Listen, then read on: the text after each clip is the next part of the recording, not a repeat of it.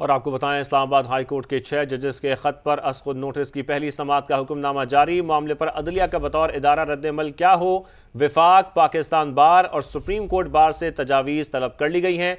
Justice अतर मिनुल्ला का तहरीरी हुक्म के बारह पैराग्राफ से अदम इतफाक सुहेल रशीद इस पर रिपोर्ट करेंगे।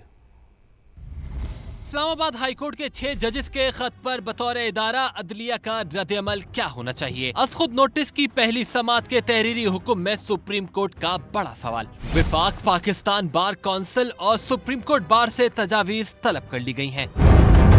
जस्टिस अथर मिनल्ला का तहरीरी हुक्म के 12 पैराग्राफ से अदम इतफाक इजाफी नोट में लिखा, ये मामला तय होना अभी बाकी है कि वज़ीर आज़म को तलब किया जा सकता है या नहीं। हुकूमत के कमीशन बनाने से अदलिया की आज़ादी मुतासर होती है या नहीं? जो सवाल अदालत के सामने है, इन पर अभी राय देना मुनासिब नहीं।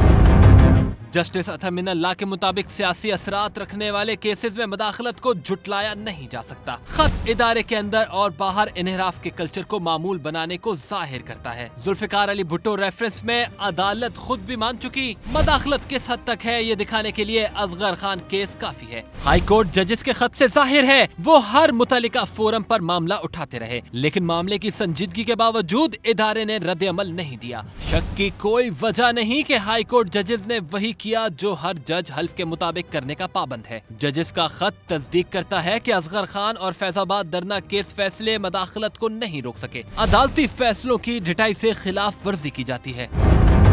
जस्टिस शाहिया अफरीदी की जानब ऐसी खुद को बेंच से अलग करते हुए अलहदा नोट पहले ही सामने आ चुका, जिसके मुताबिक सुप्रीम कोर्ट के असखुद नोटिस ऐसी हाई कोर्ट के चीफ जस्टिस के इख्तियार में मदाखलत होगी। खत सुप्रीम जुडिशियल काउंसिल को राय लेने के लिए लिखा गया है। मुनासिब होगा की सुप्रीम जुडिशियल काउंसिल ही खत आरोप मजबत जवाब दे।